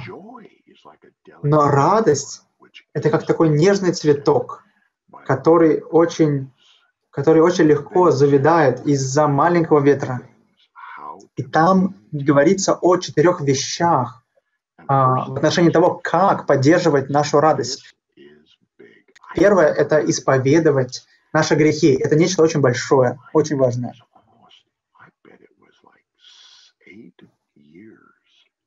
И мне кажется, вот 8 лет прошло после того, как я спасся, вот только через 8 лет я обнаружил этот секрет исповедования своих грехов и призна, признание моих грехов.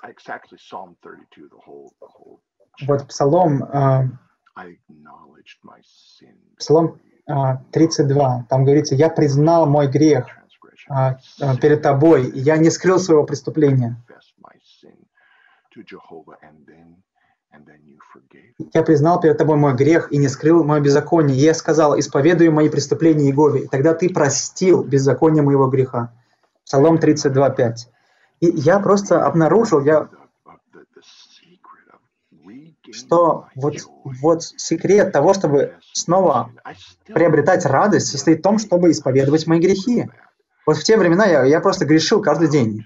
Я просто, я просто пропадал, моя радость просто исчезала.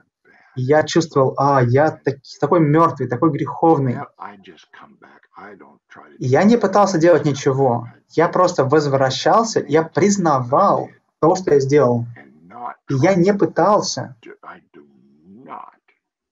я не, я не пытался оправдывать себя. Вот не вообще не пытался оправдывать себя. Я просто признавал э, мой грех перед Господом, просил его простить меня.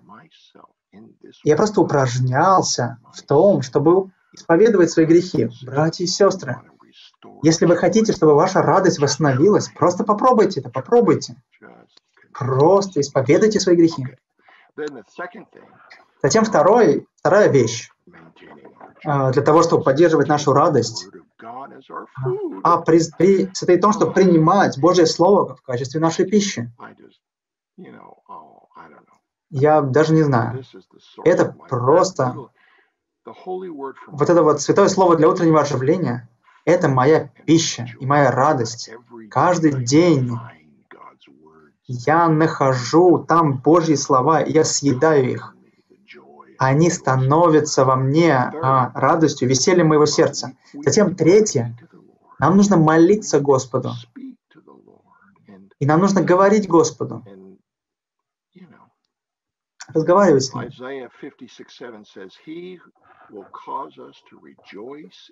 В Исайя 56, 7 говорится, «Я побужу прийти на мою городу, на мою святую гору и радоваться в моем доме молитвы. И а, просите, чтобы а, ваша радость сделалась полной. Затем четвертый момент. А это общение. Нам нужно общаться с братьями и сестрами. Нам нужно быть в общении.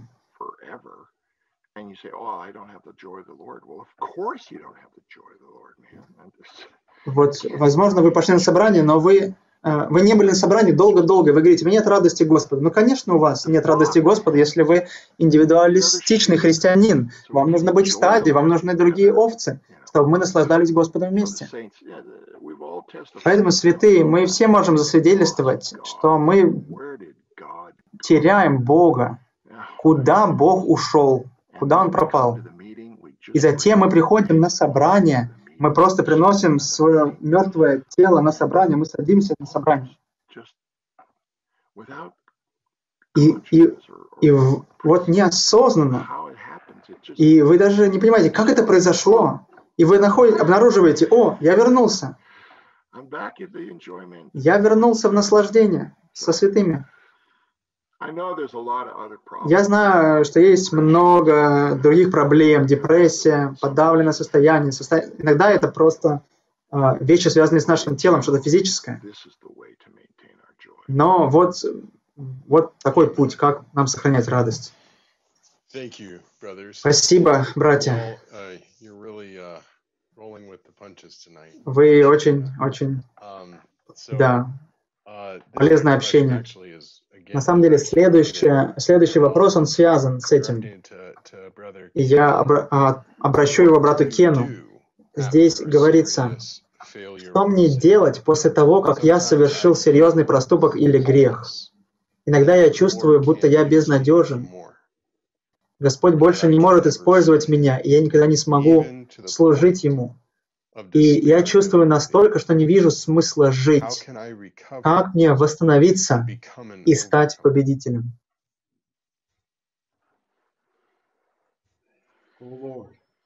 О Господь,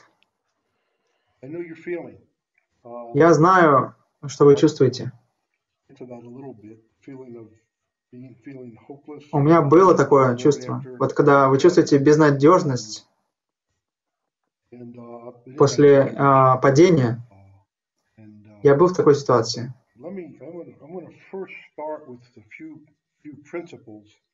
Я хочу в первую очередь сказать несколько принципов, и затем приведу э, личный пример, а, ну, без, не вдаваясь в детали. Мы вернемся к Давиду. А, мы знаем, что Давид, он совершил большое, у него была большая неудача. Затем у нас есть а, Петр в Новом Завете. Он отрекся от Господа. Он сказал, я не отрекусь от тебя. Но в итоге Петр, а, он отрекся от Господа. Что теперь ему делать? Но Господь помог Петру. И в итоге Господь, Он лично пас Петра. Затем у нас есть апостол Павел.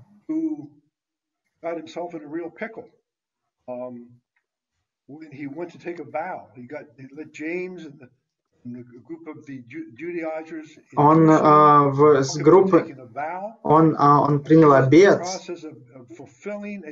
он, он принял обед, и он а, вот пошел в Иерусалим, и он знал, что ему не нужно это делать. И Господу пришлось совершить чудо, произвести смуту, чтобы увести его оттуда, чтобы до того, как он примет этот обед.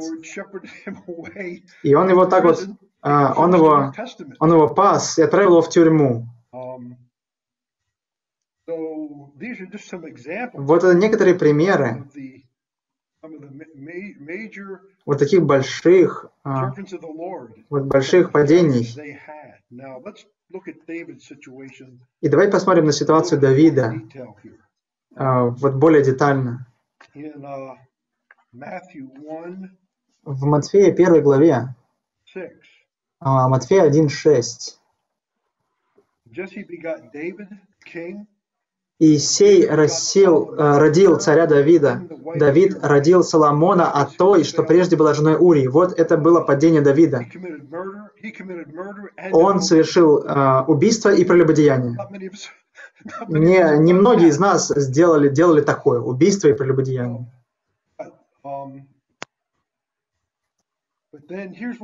И вот здесь в примечании говорится, Будучи изобличен, Давид покаялся. Его покаяние записано в Псалме 51. Он покаялся, и Бог простил его. После этого он родил Соломона. Таким образом, Соломон представляет собой итог человеческого преступления и покаяния в сочетании с Божьим прощением. Вот брат Рон приводил этот пример несколько раз. А, он говорил, что храм, храм был построен благодаря человеческому преступлению, покаянию в сочетании с Божьим прощением. Вот те, кто, а, те, кого Господь использует для того, чтобы а, преподносить, служить а, и строить тело, а, а это те, кто переживали преступление, падение, покаяние и Божье прощение. Это то, что а, созидает тело. Если мы никогда не падали, если тогда мы не знаем глубину и силу Господнего прощения. Рон сказал так, а, в и вы можете, иногда вы делаете что-то, и братья просто говорят, как вообще ты мог это сделать? Знаете, у меня самого было такое переживание. Um, это было большое падение. Я просто, я просто, я, я облокотился вот на стену, я раз, разговаривал с братом, я просто понимал, мое служение, ему конец. Все, моему служению Господу конец. И знаете, какой ответ? Какой ответ был этого брата? Он, он просто пас меня. И он, он сказал, он меня вернул в служение. Он сказал, сказал ты, а, говорит, я, я, я, я не был греховным, но я был очень глупым. Но суть в следующем, что нам нужно знать, нам нужно знать силу и глубину Господнего прощения. Мы должны осознавать, что когда мы переживаем падение,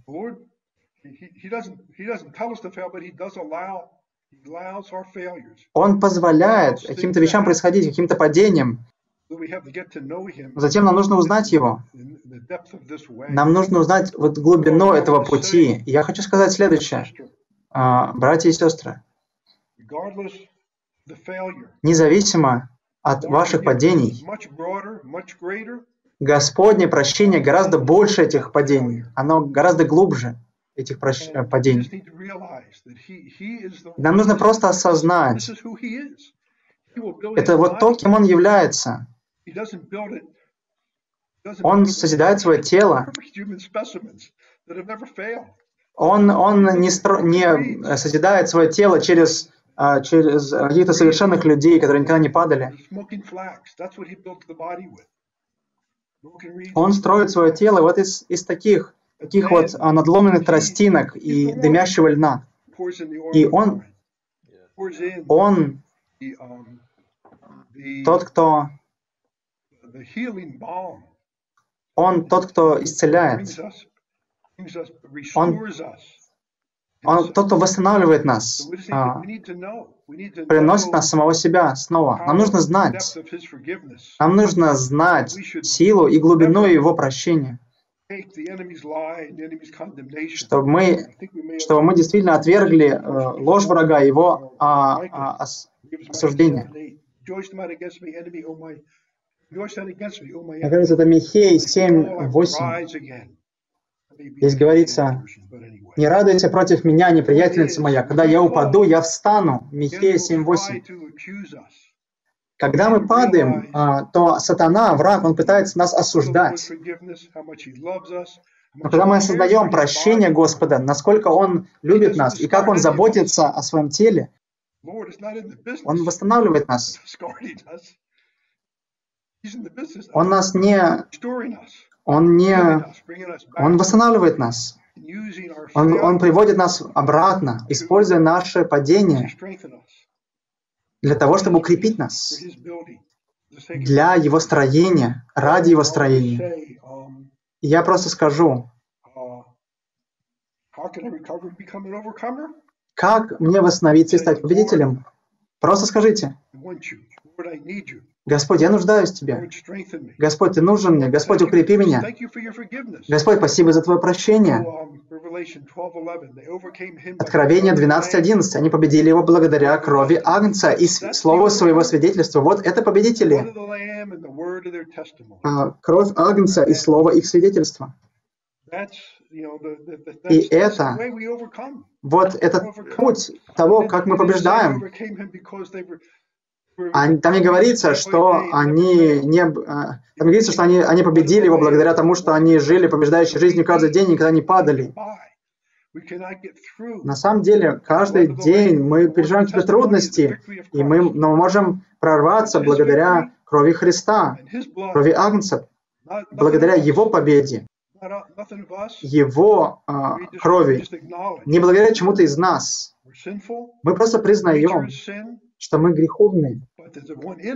Наша природа, природа греховная, но есть в нас тот, кто является жизнью воскресения. Он тот, кто обновляет наш разум и преобразовывает нас день за днем. И когда мы переживаем такое падение, мы осознаем, Господь, мы осознаем, Господь, я люблю Тебя. Господь, спасибо, что Ты любишь меня. Спасибо за ту любовь, которую Ты имеешь ко мне. И что мы становимся победителем благодаря а, тому, что мы любим Его. Даже когда мы любим Его благодаря нашим падениям. Братья и сестры, пожалуйста, не принимайте ложь врага. Любое, любое падение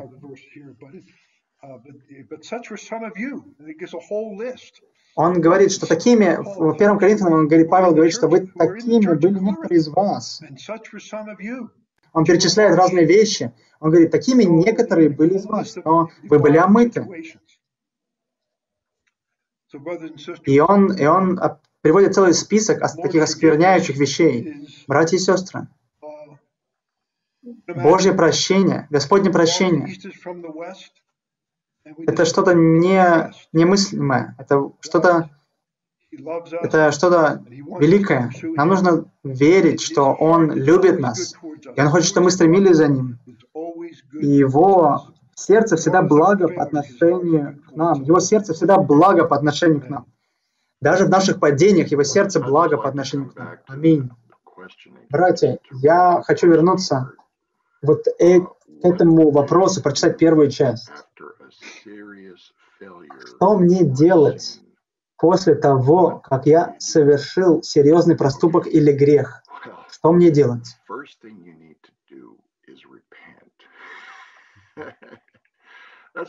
Первое, что вам нужно сделать, это покаяться. Это первое, что вам нужно сделать, покаяться. И вам, вам нужно исповедать свой грех тщательно, тщательно. И очень полезно использовать 51-й э, псалом, просто э, помолиться э, этим псалмом Господу. Это великий псалом. Вот посмотрите, вот этот человек, Давид, он совершил, совершил убийство и прелюбодеяние. Вот это его исповедь в отношении убийства и прелюбодеяния. И вот там такое чувство.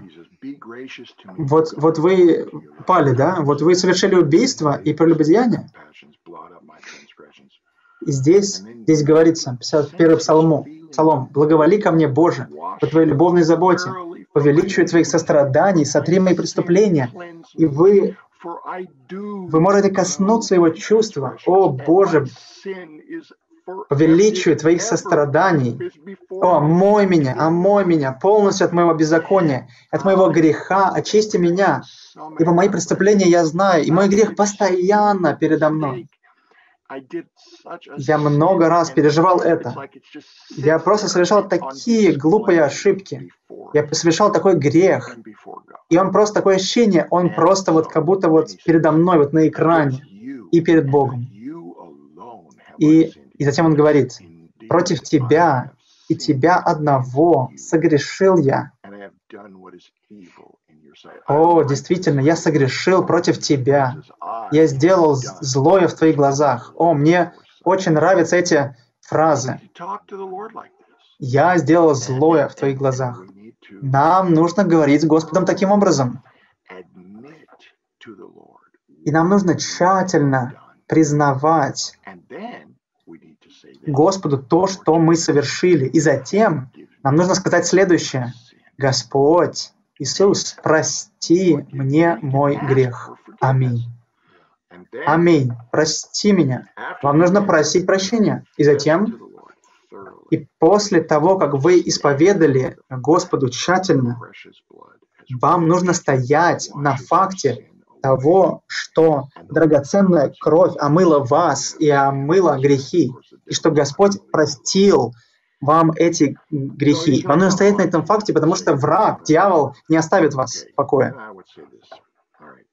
И затем я бы сказал следующее. Здесь говорится, иногда я чувствую, что я безнадежен, Господь больше не может использовать меня. Я думаю, что вы а, пали еще недостаточно. Я думаю, что вот этому человеку нужно еще немножко падений. Почему? Потому что вы осознаете, вы действительно осознаете, что вы действительно безнадежны. Дело не в том, что вы чувствуете, что вы безнадежен. Вы на самом деле безнадежный. У вас будет такое субъективное а, осознание вашей полной безнадежности. Вот затем вы действительно начнете наслаждаться Господней благодатью. И вот затем, после этого, вы начнете быть использованными Господом. На самом деле, без, без падений вы не, вы не можете быть полезными, вы не можете служить. Вы не можете служить без падений. Просто посмотрите на Петра. Какое падение. Какая неудача. Так хорошо, что эти падения, неудачи записаны в Библии. Представляете? Петр, вот его падение, его неудача, вот прямо в присутствии Господа, он прямо в лицо, он с проклятиями отрекся от него. Что это вообще такое? Как он вообще может потом в лицо Господу посмотреть? Все, все, я больше никогда не буду служить Господу. Все, конец. И затем Господь приходит вам в таком состоянии и делает вам завтрак. И говорит, ты любишь меня? Я хочу сказать вам, вот когда вы переживаете, вот когда вот вы в падении, в этой яме, вы переживаете любовь Господа, Его прощение, вот это действительно что-то значит. Вы начинаете что-то понимать. Я вам хочу порекомендовать а, шестую главу из книги, как называется эта книга? А, Божья нужда и Божья цель. Глава 6. Там говорится, что падение позволяет человеку переживать Бога больше. Это драгоценная глава. Там говорится о том, что вот э, падение, неудачи, вот там говорится, что без них мы не можем двигаться дальше. Вы посмотрите на Павла. Он убивал святых. Он, он гнал святых. Ну, можете сказать, но это было до того, как он был спасен. Ну и что? Павел, у него было такое осознание, что вот этот грех действительно давил на него. Поэтому он всегда называл себя как наименьшим из святых. Он говорит, я наименьший из всех святых.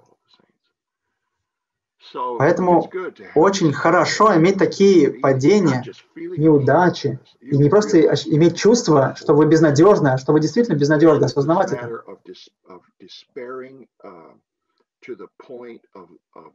И затем здесь говорится, я чувствую это настолько, что не вижу смысла жить. Вот это действительно опасно. Вам нужно сказать дьяволу, чтобы он замолчал и напомнить ему о его судьбе в огненном озере.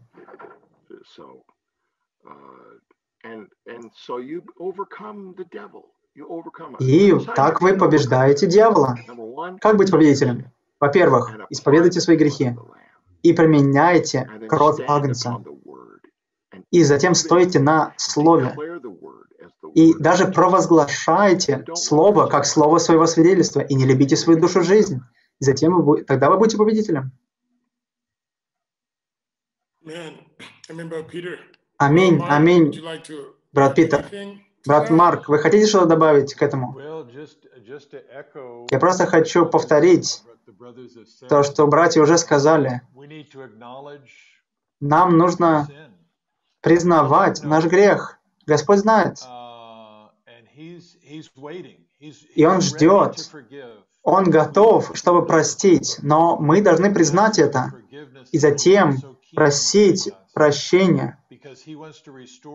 Потому что Господь, Он хочет восстановить то, те отношения, которые у Него есть с нами. Но первый шаг — это что мы должны признать это перед Ним. Да, аминь. Спасибо, брат Марк. Мне кажется, братья, я снова получил радостную весть сегодня. Это очень воодушевляюще и очень снабжает.